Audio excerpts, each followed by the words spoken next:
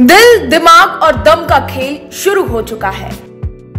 जी हाँ सलमान ने अपनी धमाकेदार डांस परफॉर्मेंस के साथ बिग बॉस 17 का आगाज़ कर दिया है, जिसमें कई सारे ट्विस्ट, मेकर्स लेकर के आएँगे।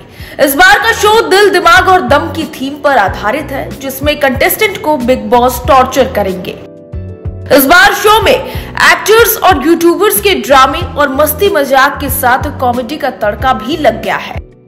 क्राइम रिपोर्टिंग से लेकर वकालत तक के फ्लेवर्स ने दर्शकों को टीवी स्क्रीन से चिपकाए रखा।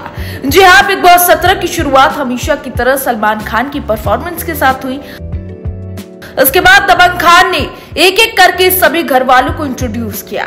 शो इस बार कपल वर्सेस सिंगल की थीम पर बेस्ड है। शो में टेलीविज़न की दुनिया के जाने माने कपल शामिल हुए हैं, जिनमें प्रीमियर नाइट में अपनी केमिस्ट्री की झलक भी फैंस को दिखाई।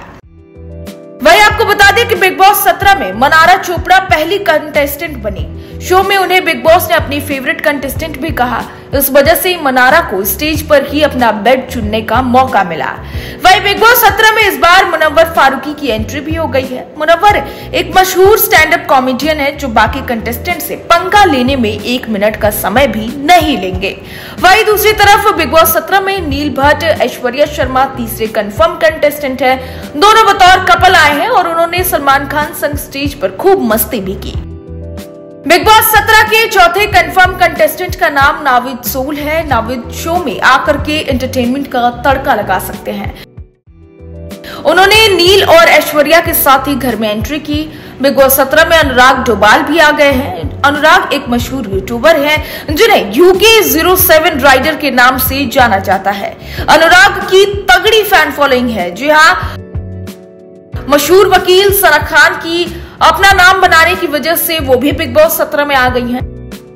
वही बिग बॉस सत्रह में क्राइम रिपोर्टर जिग्ना वोरा की धमाल मचाने वाली हैं। वही बिग बॉस सत्रह में अंकिता लोखांडे, विकी जैन, सोनिया बंसल, फिरोजा खान, सनी आर्या, रिंकू धवन, अरुण श्रीकांत, माशेट्टी, ईशा मालविया और अभिषेक मल्हान भी नज़र आने वाले हैं। वैसे आपको बिग बॉस सत्रह का पहला प्रीमियर नाइट कैसा लगा, हमें कॉमेंट करके ज़रूर बताएँ।